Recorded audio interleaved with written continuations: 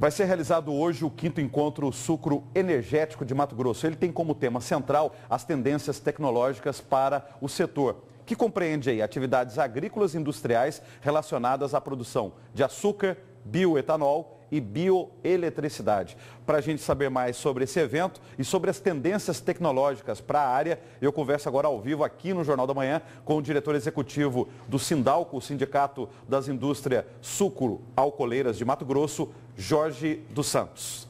Bom dia, obrigado pela presença aqui com a gente no Jornal da Manhã. Bom dia, Antônio Carlos, é uma honra estar aqui novamente. Geralmente a gente ouve falar de setor, o nome do sindicato, sucro alcooleiro. E essa expressão, sucro energético? É porque a gente evoluiu. Como, veja, há uma regra em administração que diz assim: a empresa é fonte de custo, o lucro está no mercado. Então, é, é, é, nós temos o bagaço de cana, que era, em princípio, um problema ambiental. E hoje é fonte de energia. Então, ela gera vapor, que faz com que os geradores possam se movimentar e a gente gerar bioeletricidade.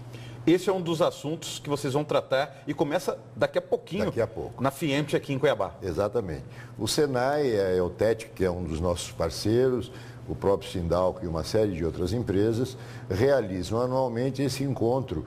Na verdade, é mais uma troca de informações entre profissionais da área, no, na, na para demonstrar os seus casos de sucesso, aquilo que fizeram dentro das suas empresas. Então, várias das nossas associadas vão estar presentes para mostrar que tipo de atividade desenvolveram, que foi sucesso e que pode ser transferida para os outros. Vocês também vão debater a norma regulamentadora, a NR12. O que, que, é ela? Quem que, qual órgão expediu essa norma? É, é, essa é uma norma regulamentadora do Ministério do Trabalho e Emprego, é, que que é, é, fala sobre a utilização de equipamentos.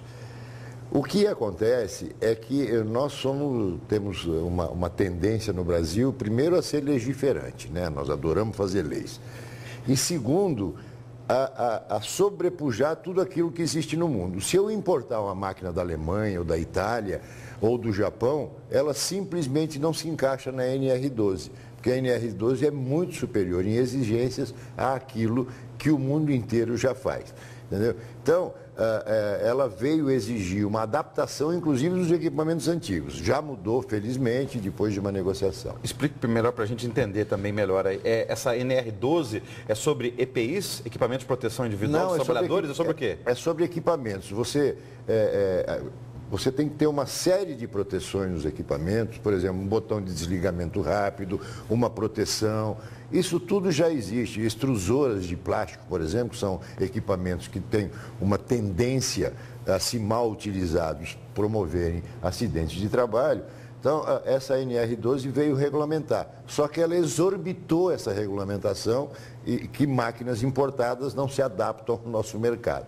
E vocês vão estar discutindo isso, encaminhar alguma é, solicitação junto ao Ministério do Trabalho em relação a, é, a essa norma? Exatamente. A, a, a, o, o, Conselho Temático de Relações do Trabalho da Federação das Indústrias, através do Senai, e isso em nível nacional, também da CNI, nós estamos mostrando ao, ao Ministério do Trabalho e Emprego que ela exorbitou em muito as exigências de segurança do trabalho. Outro assunto que vocês vão estar discutindo nesse evento, começa daqui a pouco lá na FIEMP, é a respeito do potencial desse setor sucroenergético.